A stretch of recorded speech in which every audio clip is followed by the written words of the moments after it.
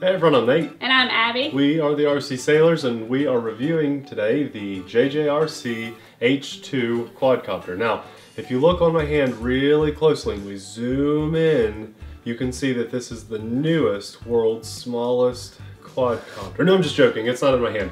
Uh, but it is in Abby's hand right there. It is extremely small. I've seen a few pictures online of this compared to the Cheerson CX10 and it clearly is a good bit smaller, but uh, the dimensions that I've seen online compared to the Cheerson CX10 don't seem to match up, but this is definitely smaller than that. And you, uh, you'd be surprised to know that it's smaller than the Proto X as well. Mm -hmm. So uh, this is officially the world's smallest quadcopter now.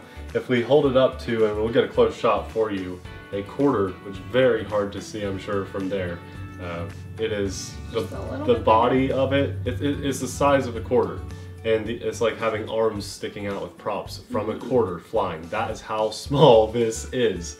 Uh, now you might think something so small would struggle to get shipped to your house in one piece because it's so tiny and so delicate, but I gotta say, Geek Buying, where we got ours, is uh, they've done a great job shipping this thing, and I have to point that out before we move on to the review. It was still shipped DHL, yeah, but they made sure it was protected inside the DHL bag. First of all, it came in a DHL bag.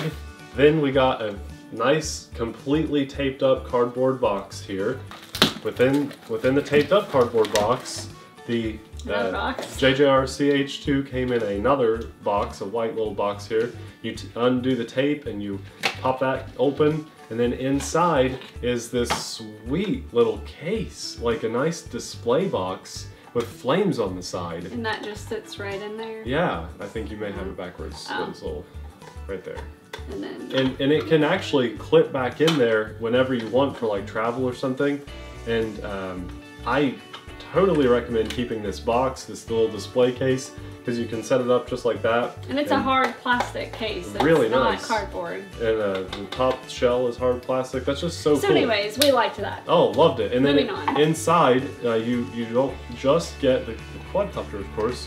You get a transmitter packed in there nicely. I feel like it's a better material. It almost feels rubbery, just a little bit. Don't you think so? A little bit, yeah. And so it's easier to hold on to. It doesn't feel like really cheap plastic. You get, believe it or not, you get four spare propellers for this little hmm. guy.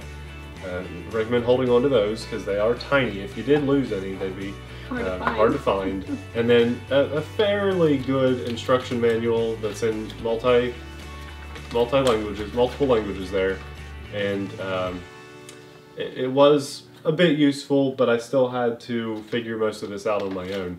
Uh, but let's go ahead and start talking about the quadcopter because it's really cool.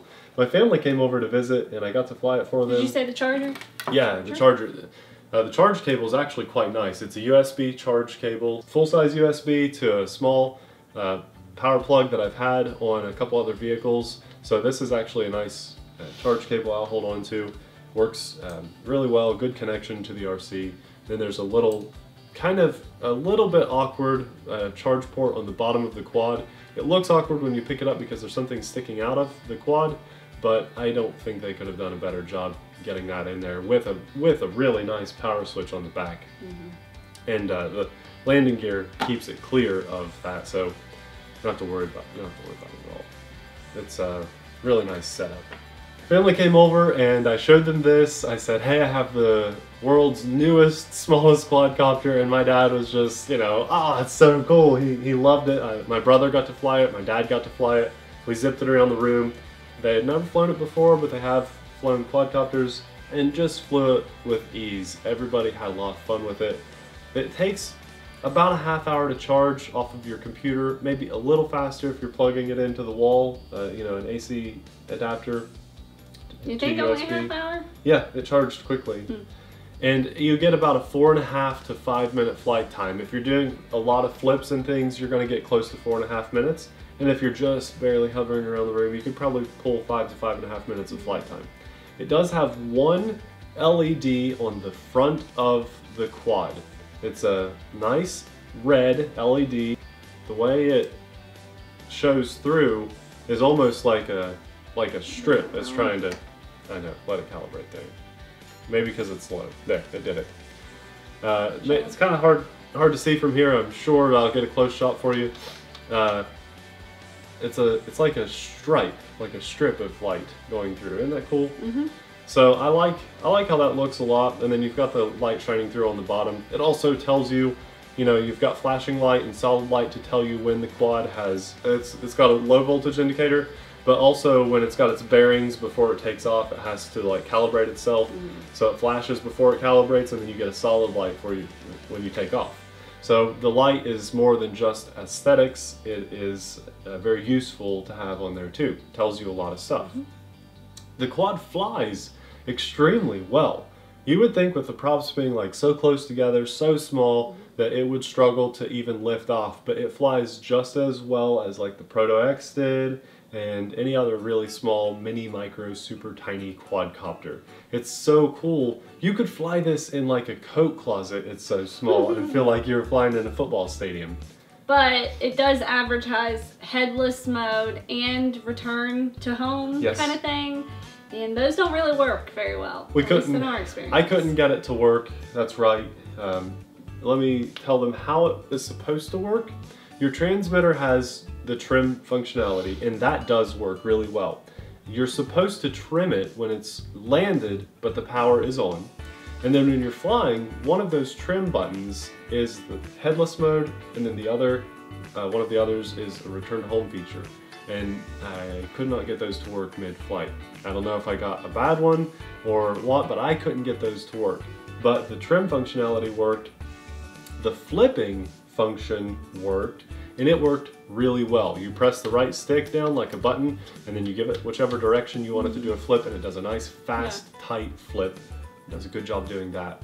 And it has three different flight modes, uh, just easy, medium, and advanced. One beep, two beeps, or three beeps to tell you which flight uh, mode you're in. And there is a very big, significant difference uh, when you're in those different flight modes. The difference from beginner to advanced is fairly extreme. On beginner, I felt like full stick would just barely, barely move it. Um, and advanced, I could get tons of tilt out of it and really zip around the room. It's really cool because it has the design where you can see inside the quad. It is cool. And then you can see that pretty much the body of the quad is a battery inside. Yeah, Like that's all that's in there. It's just a battery. you're just a flying battery. It's crazy. There's some there's a board and stuff that you can kind of see if you take the sticker off underneath. But it's basically a flying battery. Yeah, it's so cool. Pretty funny. I like the shell on there. Now, if if that shell wasn't on there, I don't know if it's proprietary or not. Like if it's mandatory that you have to have that shell on. But if it wasn't on there, I'll bet you could almost double the flight times. So I'm not going to take mine off because I don't want to break it because it's really small and I don't really want to, you know, risk breaking it. But uh, it'd be cool if one of you guys bought this and You tried taking have a it really small screwdriver. Yeah, Really small. there's some. We got some viewers that I know could do this. I know they could. We got some geniuses that watch our channel. Um, okay, so if you do want to buy this, this is a really nice present for somebody. If it's a birthday present, little kids uh, and Adults. old old men, 80 years old, 100 years old. As long as you can see this, uh, Yeah. you should you should get this or get it for yourself. These things, this is awesome. It really is. I love how tiny it is, and it performs extremely well. Except the two little extra functions. So when you She's buy right. this, kind of buy it knowing that it's just going to fly like a regular quadcopter Yeah. and have a good ability to do flips, but nothing else really. She nailed it. Yeah. Headless mode and return to home for us didn't work at all. Yeah. So, anyways, we got this from geekbuying.com, and the price ranges on the website based on what type of promotion they're running. Yeah. Um, right now, it's like $20, but sometimes we've looked on it and it's about $25. However, if you look in our description box, we have a link that you can click on it to take you directly to this quad to buy it, and there's also an $8 promo code. Yes. So, take advantage of that because you could get this from anywhere. From $12 to like $17, and that is incredible. Also, just so you know, honestly, we are not making a dime for doing this review or for having that promo code, but we did talk to a, a representative for Geek Buying and uh, tried to work something out to where we could get our viewers a promo discount code. Uh, they just want to see how much traffic goes to them. Uh, again, we don't make a dime from that. No. If you're not subscribed to our channel, be sure to at least stop by and check out a few more videos because we do giveaways and we do reviews of quads, trucks, and planes and all kinds of fun things all the time. We are doing a giveaway. Uh, we're giving away a really cool little nano hexagon at the end of July. Yeah, that's the Rev- Revell Control Right. Hexagon Hexacopter. Yeah, and we did a review of this on our channel too, so check that out. But if you if you haven't heard, we are giving one of these away at the end of July, which means you probably just have a day or two left uh, by the time this is released. Yeah, so all you have to do is go to facebook.com forward slash RC Saylors, post a picture as a comment, not a message, as a comment of a, a picture of your favorite RC. Tell us why it's your favorite RC, and that's all you have to do to be entered. And we'll pick the winner at the end of July. Yes. Thanks a lot for watching, guys. We will see you in the next video. See you guys. These things are so cool. This is awesome. Look how small that is. Oh, you just popped. My shoulder just popped. Bye, guys.